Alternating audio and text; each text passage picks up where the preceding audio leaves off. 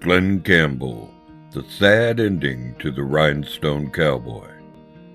A Spotlight TV production. Glen Travis Campbell was born on April 22, 1936, in Billstown, a tiny community near Delight in Pike County, Arkansas, to John Wesley, a sharecropper, and Carrie Dell Stone Campbell. Campbell was of Scottish descent and was the seventh son of twelve children. As a child, he almost died from drowning. His family went to Church of Christ, and Campbell's brother Lindell became a Church of Christ minister. The family lived on a farm where they barely managed by growing cotton, corn, watermelons, and potatoes. We had no electricity, he said, and money was scarce. A dollar in those days looked as big as a saddle blanket. To supplement income, the family picked cotton from other farmers. Campbell said, I picked cotton for a dollar and a quarter a hundred pounds. If you worked your tail off, you could pick 80 or 90 pounds a day. Campbell started playing guitar at age four after his father gave him a Sears bought $5 guitar as a gift with his Uncle Boo teaching him the basics of how to play. Most of his family was musical. Back home, everybody plays and sings, he said. By the time he was six, he was performing on local radio stations. Campbell continued playing guitar in his youth with no formal training and practiced when he was not working in the cotton fields. He developed his talent by listening to radio and records, and considered Django Reinhardt among his most admired guitarists, later calling him the most awesome player I ever heard. Campbell dropped out of school at 14 to work in Houston alongside his brothers, installing insulation and later working at a gas station.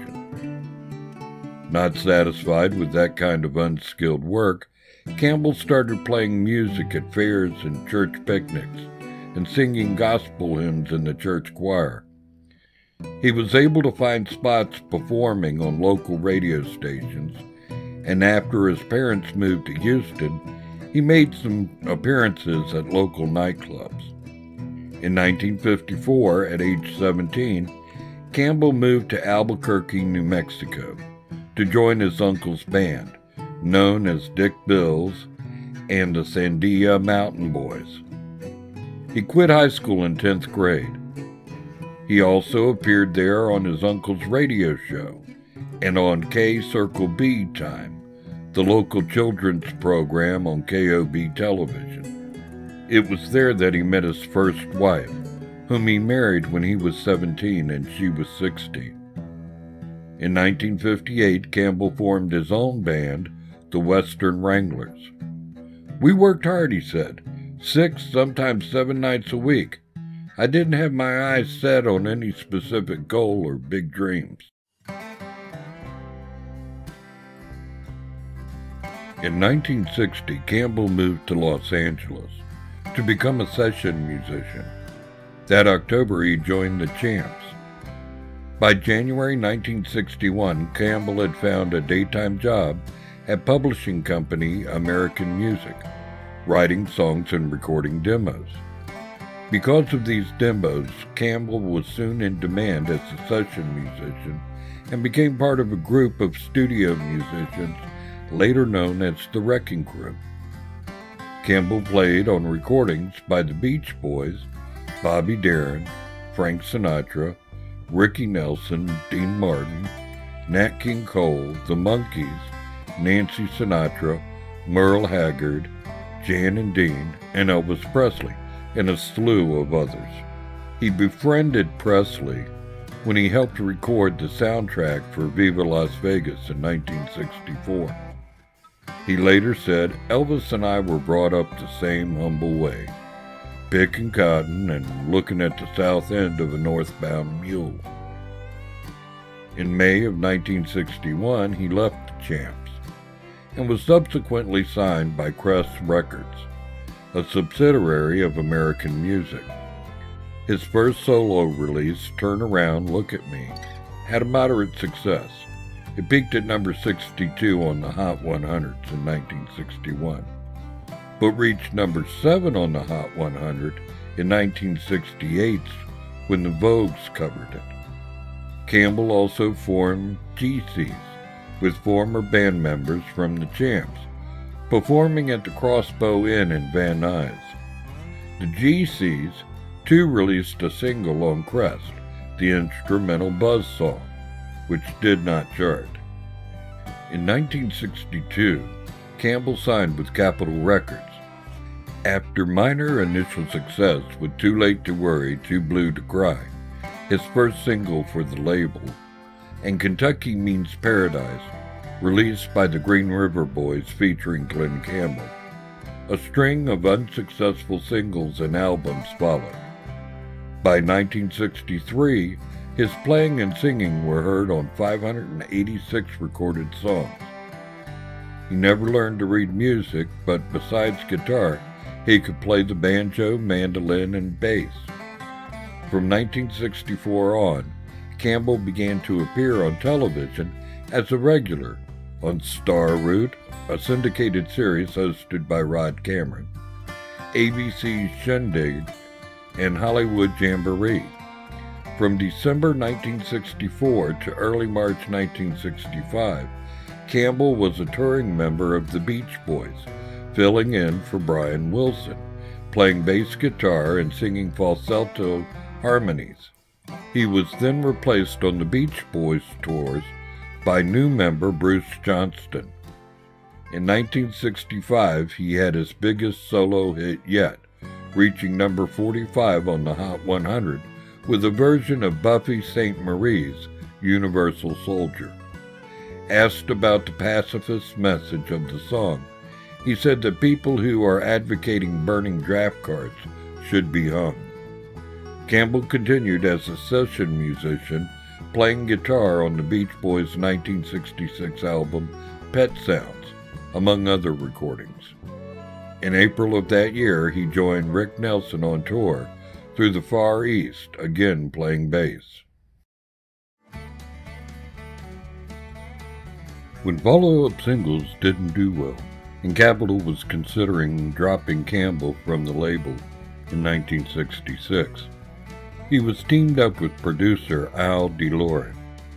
Together, they first collaborated on Burning Bridges, which became a top 20 country hit in early 1967 and the album of the same name.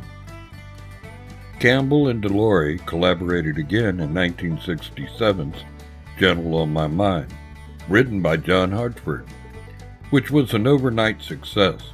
The song was followed by the bigger hit By the Time I Get to Phoenix, later in 1967, and I Want to Live in Wichita Lineman in 1968, remaining on Billboard's Top 100 chart for 15 weeks. He won four Grammy Awards for Gentle on My Mind and By the Time I Get to Phoenix. In 1967, Campbell was also the uncredited lead vocalist on My World Fell Down by Sagittarius, a studio group. The song reached number 70 on the Billboard Hot 100. In 1968, Campbell released Wichita Lineman a song written by Jimmy Webb. It was recorded with backing from members of the Wrecking Crew and appeared on his 1968 album of the same name. It reached number three on the U.S. pop charts, remaining in the top 100 for 15 weeks. In addition, the song also topped the American Country Music Chart for two weeks and the Adult Contemporary Chart for six weeks. After he hosted a 1968 summer replacement for television's The Smothers Brothers Comedy Hour variety show, Campbell was given his own weekly variety show, The Glen Campbell Good Time Hour, which ran from January 1969 through June 1972. The show's comedy writers included Steve Martin and Rob Reiner.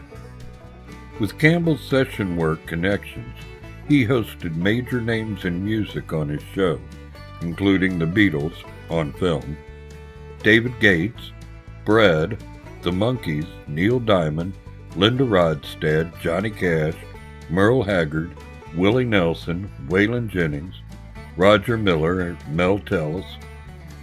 Campbell helped launch the careers of Anne Murray and Jerry Reed, who were regulars on the Good Time Hour program.